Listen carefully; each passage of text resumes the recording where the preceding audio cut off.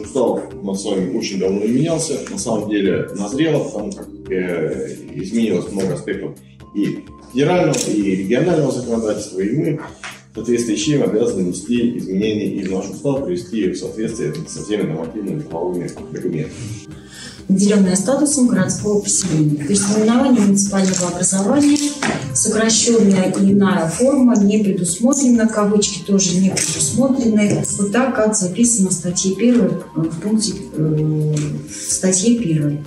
Все изменения в наименовании муниципального образования по статейно приводятся. Это 2, 3, 4, 5 статьи.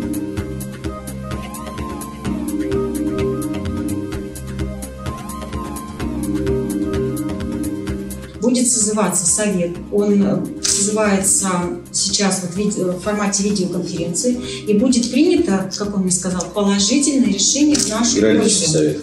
Геологический да. совет, да, собирается и будет принято положительное решение в нашу пользу. И нам будут направлены документы. Но вот до настоящего момента они еще не направлены. Поэтому мы не знаем, под каким ну, регистрационным реестровым номером мы зарегистрированы. Вот зарегистрирован наш А мы в уставе должны этот номер прописать?